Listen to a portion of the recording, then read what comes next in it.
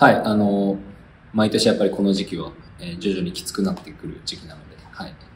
まあ、そういう意味ではいいコンディションかなと思います。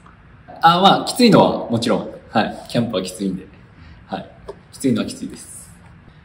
えーっと、まあ、今はまあこのコロナ禍なんで、まあやれることは限られるというか、まあ常に部屋にいる状態、まあ全員そうなんですけど、まあその中でも、まあ、えー、まあ、なんだろうな、ネットフリックスを見たり、アマゾンプライムを見たり、まあそういった感じでリラックスしてます。えっと、そうですね。まあ僕、去年まで沖縄にいたんですけど、あの、やっぱ沖縄の料理を出していただいて、まあすごく、まあ懐かしいっていうのと、まああと本当、一つ一つの料理がすごくクオリティの高い、本当に美味しい料理なので、バランスも取れていて、本当にすごくありがたいなと思います。まあ自分が思ってたクラブ像っていうのは、えーまああったんですけど、まああの、クラブハウスに行ってみたり、えーして、まあ本当ある意味、あの、思ってた通りのチームだったなという、あの、本当に、まあいろんな面で素晴らしい、えークラブだなというのを感じています。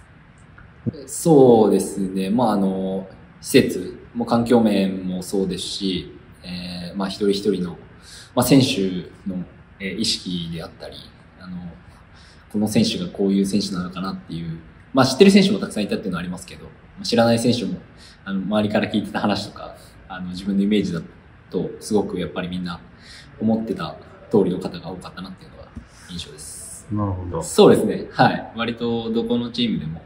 いじられます。はい。うーん、なんかこれって言った特徴は正直ないんですけど、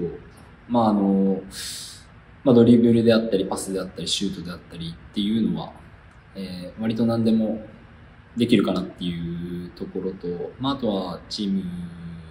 の勝利のためにというところで、まあ、泥臭いプレーというか、えーまあ、やらなきゃいけない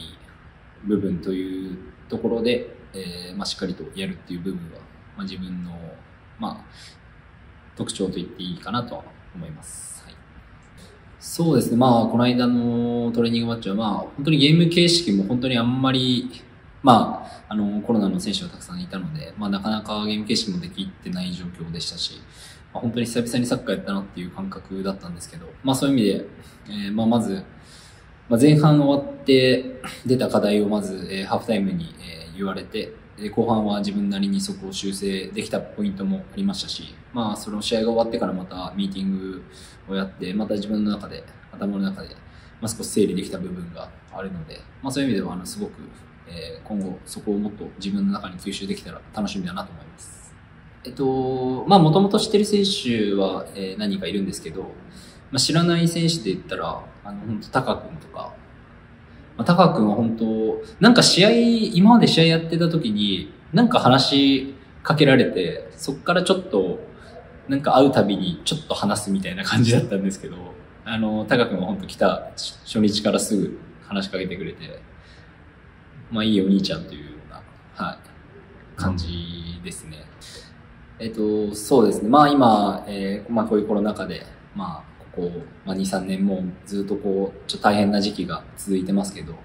まあ、やっぱり、えーまあ自分は敵として福割にでプレーしてる時も、敵ながら本当に素晴らしいスタジアムだと思ってたし、まあその素晴らしいスタジアムを作り上げてるのは本当に自分のサポーターの皆さんのおかげだと思うので、まあその中で自分がプレーできるっていうのは、まあ本当にすごい楽しみにしていますし、まあ皆さんと、まあ一試合でも多く、えー喜びを分かち合う試合をできたらなと思っていますので、えーまあ、できる限り自分は少しでも勝利に貢献できるように頑張るので、応援これからよろしくお願いします。